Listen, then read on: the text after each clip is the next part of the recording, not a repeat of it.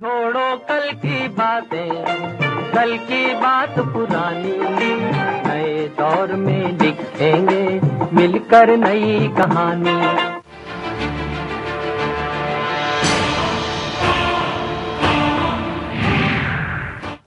Break के बाद आपका एक बार फिर से स्वागत है। आप देख रहे हैं बिंदास बोलो और बिंदास में हमने आपके सामने अमेरिका की वो स्थिति, वो चेहरा और वो जानकारी लाई है जो शायद ही आपने अब तक कभी इतने संकलित तौर पर देखी हो। हमको भारत के, अमेरिका के संबंधों की एक दूसरे को ज़रूरत है, लेकिन अमेरिका के प्रति हमको सावधानी की भी ज़रूरत है। भारत उनके लिए मजबूरी है, लेकिन अमेरिका हमारे लिए मजबूरी नहीं है। यह हमको उनको दिखाना है और इसके साथ ये संबंध अगर दोनों के जरूरतों के आधार पर चलेंगे तो निश्चित हम दोनों फ़ायदे में रहेंगे, लेकिन इसमें कौन की उसके ऊपर टांग मारता है, ये भी देखने लायक होगा। भारत के बारे में कहा जाए तो भारत ने अब तक के अपने लाखों वर्षों के इतिहास में कभी भी अपना साम्राज्य विस्तार के लिए किसी देश पर आक्रमण नहीं किया, या अपना एक सेंटीमीटर भी सीमा किसी देश के ऊपर आता नहीं डाली। ऐसे में भारत के बारे में तो ज़रूर यह कहा जाएगा कि भारत दोनों संबंधों में कभी भी अमेरिका का नुकसान नहीं पहुंचाएगा, लेकिन अमेरिका का भरोसा नहीं किया जा सकता। यही अमेरिका है, जो कभी ओबामा को समर्थन देता था रशिया को कमज़ोर करने के लिए, यही अमेरिका है, जो कभी मोदी को विरोध करता था, अब समर्थन दे रहा है। अमेरिका अपने राष्ट्र हित के लिए कुछ भी कर सकता है। यही अमेरिका है, जो हज़ारों किलोमीटर दूर किसी देश में छोटी सी हलचल कहीं पर होती है तो अपने यहाँ से मिसाइल दाग देता है, हमला बोल देता है तब उसको वहाँ की जो ह्यूमन राइट्स है, वो दिखाई नहीं देते। तब किसी राष्ट्र की संप्रभुता नहीं दिखाई देती। वो कहता है कि अमेरिका के लिए यहाँ से खतरा है, हम इसको निस्त नाबूद कर देंगे। अमेरिका दादागिरी करता है। अमेरिका दुनिया का फौजदार बना हुआ है। अमेरिका दुनिया की पोलिसिंग करता है। लेकिन फिर भी भारत के आगे क्यों झुका है? अगले कॉलर जय हिंद। जी जय हिंद जय हिंद, सुरेश जी। बोलिए। अमेरिका तो कभी अपना फ़ायदा देख के ही काम कर रहा है जो अफ़गानिस्तान हो या इराक हो वो अपना फ़ायदा पहले देखता है। वो दूसरे मुल्क का कोई फ़ायदा कभी देखता ही नहीं है। और अभी भी मोदी को मोदी जी को जब पहले रोकने में वो अपना फ़ायदा देखता था अभी वो उनको स्वीकारने में अपना फ़ायदा देख रहा है। वो, वो फ़ायदे का है वो दूसरा कोई काम नहीं करता है। और मोदी जी का जो अभी का जो अमेरिका का जो विज़िट है वो पहले भी एक नरेंद्र 1893 में इतिहास रचा था तो अभी ये दूसरा जो नरेंद्र होगा जो दोबारा एक इतिहास रचेगा। ऐसा हम सब उम्मीद करते हैं। बिल्कुल धन्यवाद। अगले कॉलर के पास चलते हैं। जय हिंद। जय हिंद सर। बोलिए। सर हमें अमेरिका को इतने हल्के नहीं लेना चाहिए। अमेरिका जो है वो ना तो कभी हमारा दोस्त था ना है और ना ही कभी हमारा दोस्त होगा। हमारा नहीं किसी का भी नहीं था ना किसी का होगा। इस बात से हमें चौकस रहना होगा। और मोदी साहब से रिक्वेस्ट है कि वो अपनी टीम को संभाले उनकी सुरक्षा की की तरफ़ ध्यान दे। अभी अभी मुंडे जी हमारे जा चुके हैं। और उसके दो दिन बाद ही अपना एक हमारे बीजेपी के और नेता को अपना महाराष्ट्र में गोली मारी गई। ठीक है तो इस हिसाब से अपनी टीम को भी संभालना ज़रूरी है। ये मोदी साहब को अपना ध्यान रखना है। जब भी अगर यदि अमेरिका जाए तो अपनी सुरक्षा के बारे में भी वो पूरे अपना सिक्योर होकर जाएँ। बिल्कुल उस, उस मुद्दे को हम बाद में उठाएँगे जैसे लाल बहादुर शास्त्री रशिया गए थे और वापस नहीं आ पाए। और भी ऐसी कई चीज़ें होती है जब भारत के नेताओं को दूसरे देशों में षड्यंत्र के तहत फंसाया जाता है वो क्या क्या चीज़ें होती है कैसे उससे बचा जा सकता है? अब हम तब बात करेंगे जब मोदी अमेरिका जाने वाले होंगे लेकिन आज हम भारत अमेरिका संबंधों की बात कर रहे हैं। हम जरा परिणामों पर भी नज़र डाल देते हैं कि जरा परिणाम भी देख लीजिए अमेरिका का नरम रुख। अमेरिकी व्यवहारिक राजनीति में यकीन करते हैं। दोस्ती और दुश्मनी को वे वर्तमान में होने वाले लाभ और हानि के आधार पर तोलते हैं। कूटनीतिक तौर पर वे नरेंद्र मोदी का लगातार विरोध करते रहे। यहाँ तक कि अमेरिका आने के लिए वीज़ा के सवाल पर भी वे आनाकानी करते रहे। लेकिन जैसे ही मोदी को आम चुनाव में ज़बरदस्त सफलता मिली, अमेरिकी नेताओं का सुर बदल गया। उन्हें पता है की अगले पाँच साल तक हिंदुस्तान में प्रधानमंत्री के तौर आरोप नरेंद्र मोदी ही काबिज रहेंगे और नरेंद्र मोदी ऐसी दूरी बनाए रखने ऐसी सबसे ज़्यादा नुकसान अमेरिका को ही है, चूँकि दोनों देशों के कई साझे हित हैं, और इन हितों को साधने के लिए दोनों को एक दूसरे के साथ तो कदम ताल करना ही होगा। यही वजह है कि अमेरिका मोदी को लेकर अब नरम रुख अपना रहा है। मोदी की लोकप्रियता में इजाफा लोकसभा चुनाव में मिली शानदार सफलता के बाद प्रधानमंत्री नरेंद्र मोदी की लोकप्रियता भी तेज़ी से बढ़ी है। अमेरिका में भी मोदी के चाहने वालों की संख्या में इजाफा हुआ है। अमेरिकी कूटनीतिक गलियारों में मोदी पर शुरू से निगाह रखी जा रही थी। शुरू में तो ओबामा प्रशासन को यकीन नहीं था कि मोदी को लोकसभा चुनाव में चमत्कारिक सफलता हासिल होने जा रही है, लेकिन चुनाव के नतीजों ने साफ़ कर दिया। कि मोदी हिंदुस्तान के वास्तविक हीरो हैं। मोदी की जीत का जश्न अमेरिका समेत कई मुल्कों में मनाई गई थी अब तो मोदी फ़ैशन की दुनिया में भी एक नई इबारत लिख रहे हैं इनके पोशाकों को लेकर खूब चर्चाएँ हो रही हैं।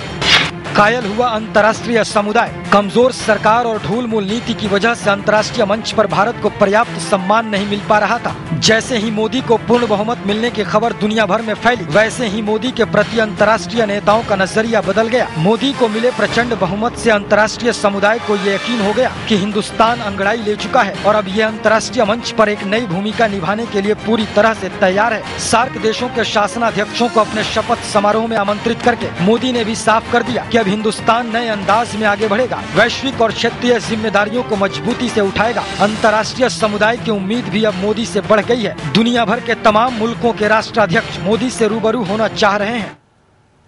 कलर के पास चलते हैं। जय हिंद। दिल्ली से, ये मोदी जी को चाहिए, किसी भी बड़ी डील के लिए अपने आप को बहुत सतर्क रखना चाहिए। जितनी भी बड़ी बड़ी सुपर पावर है, उनमें, उनके पीछे काफ़ी बंदे एडवाइजर्स होते हैं, जो एडवाइजर्स की राह मांग कर कोई भी डिसीज़न लेना चाहिए, क्योंकि आजकल का हिंदुस्तान में इतना इंटेलिजेंट बच्चा है, उनकी राय लेनी चाहिए, जो वेल एजुकेटेड प्रोफेशनल्स हैं तभी कोई डिसीज़न लेना चाहिए। नहीं तो ये जितने भी बड़ी बड़ी सुपर पावर्स हैं, बहुत क्लेवर है सर। इसको बाद में पता चलता है, हमने ये डील करने से हमें कितना फ्यूचर में नुकसान होता है। आप शाह ऑफ़ ईरान का देख लीजिए शाह ऑफ़ ईरान का क्या हाल हुआ था? हा? उसको किसी देश में भी अपने अपने रहने के लिए पनाह नहीं दी थी, जो एक मुल्क का राजा था। तो उसकी ये हाल हो सकती है तो आम बंदे की और आप किसी कंट्री के साथ क्या हो सकता है? हमें अपने हित को देखकर डिसीज़न लेना चाहिए। हमें अपने यंगस्टर जो यंग इंडियंस हैं, जो वेल एजुकेटेड पर्सन हैं, उनकी एडवाइस लेके उसी तभी कोई मेजर डिसीज़न लेना चाहिए। थैंक यू सर बिल्कुल। हम जरा उपाय भी देख लेते हैं कि क्या हो सकते हैं। संबंधों को मज़बूत करना।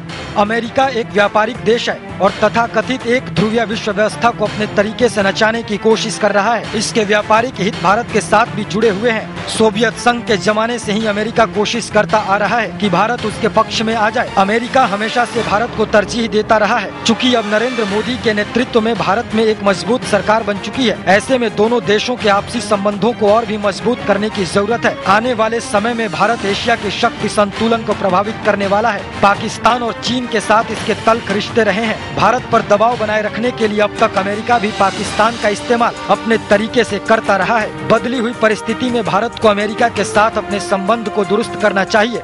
मौका भी है और दस्तूर भी। राष्ट्रीय हितों पर ध्यान।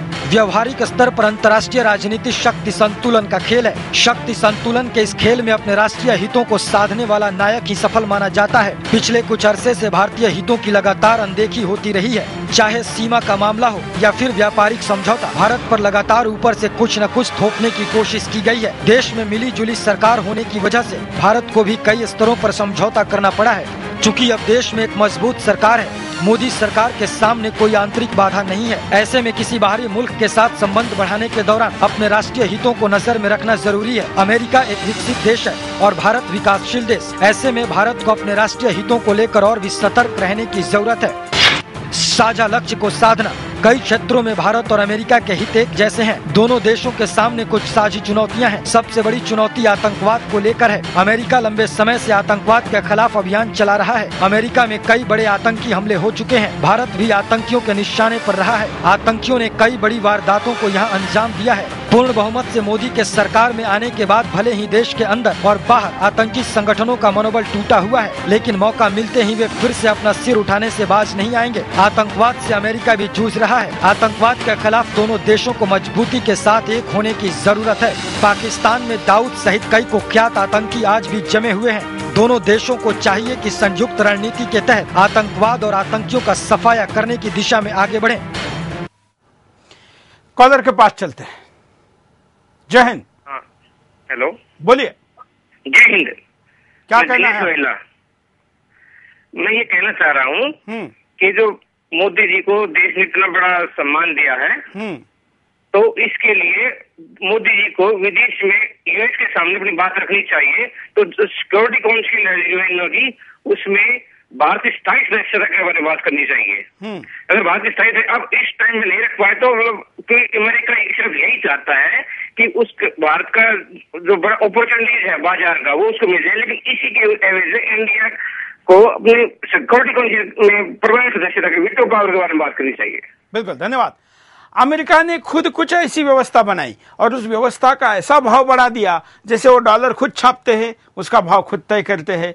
भारत को अगर अपने रुपए के भाव और सारी चीज़ों को तय करना है तो भारत के पास गोल्ड कितना है और बाकी चीज़ें कितनी, इसके आधार पर तय किया जाता है।